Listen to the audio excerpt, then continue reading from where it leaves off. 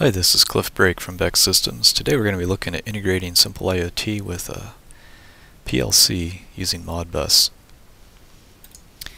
So this is the hardware.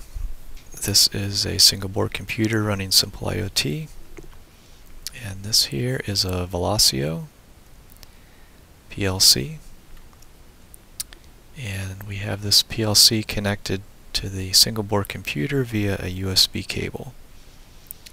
Now this USB interface looks like a um, USB serial port to Linux and then we can run Modbus over that connection. You can also connect uh, RS-232 to one of these connectors and run Modbus over that. And then other models of this PLC have an RS-485 port as well that you can talk Modbus.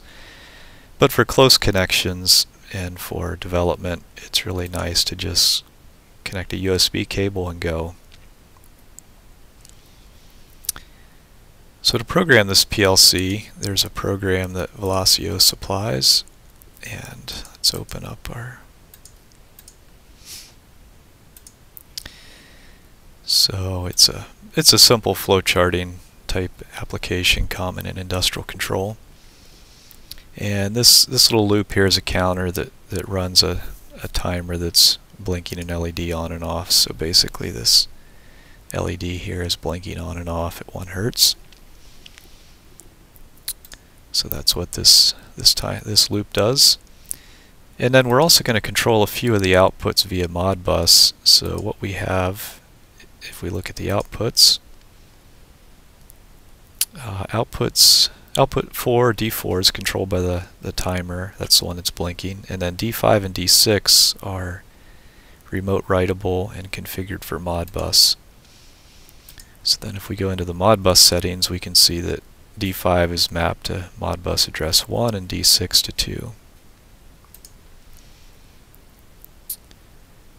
Okay, so if we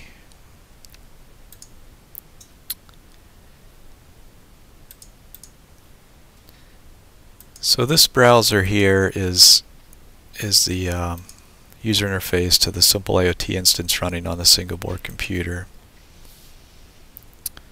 So let's add a Modbus.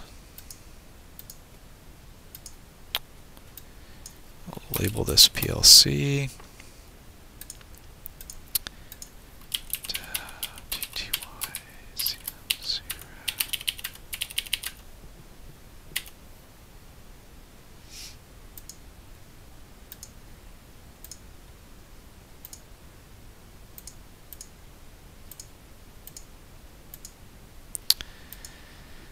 We're going to add two IOs.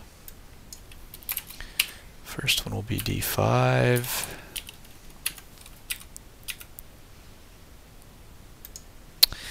So notice in the Windows program the addresses were 1 and 2 and um, that's what they call a Modbus address and the Simple IoT application actually uses the wire addresses. These are the these are the actual addresses that are on the wire so you have to subtract 1 to go from the Modbus address to the to the address that's actually in the packet.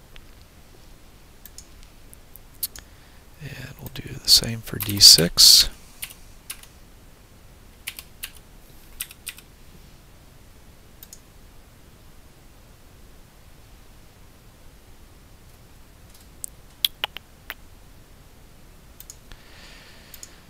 And then D5 is 0. Okay. So now if I turn on D6, we should see uh, an LED turn on right here. It's the clear left one. So let's turn it back off.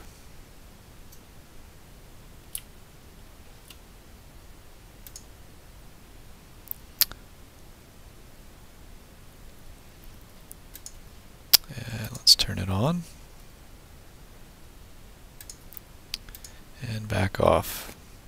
So once again, we'll, see this LED clear on the left, turn on and off, that represents that output's turning on and off. Okay, so we can also turn D5 on. So now the LED between the two that you see now should turn on. Yep, there, two of them are on now. We can turn it back off. So this is um, we're, we're looking at the web UI for this single board computer right now, but if we wanted to access this, this PLC remotely, um, I have another instance of Simple IoT running in the cloud. That's this browser window over here. And what we can do is create an upstream from this instance to the cloud instance.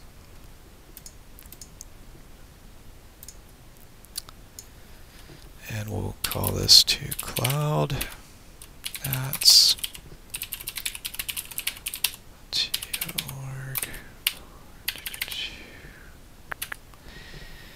Okay, and I will pause the video while I get an auth token.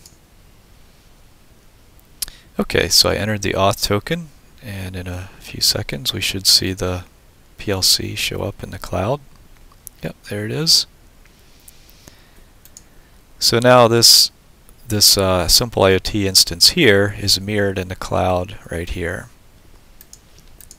So at this point we can control D6 from the cloud.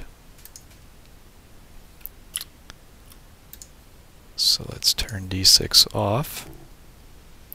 And you'll notice the P light on the PLC turned off as well as the UI showed it here. We can turn it D6 back on from the cloud. Now it's on at the PLC. Additionally, we'll turn D5 on from the cloud.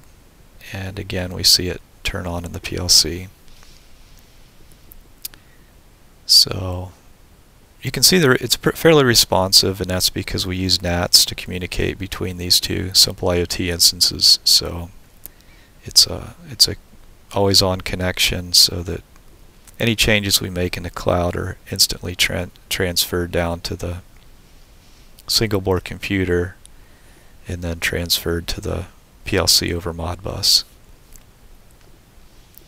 So that's interfacing with a PLC let us know what you think and if you have any feedback. Thanks.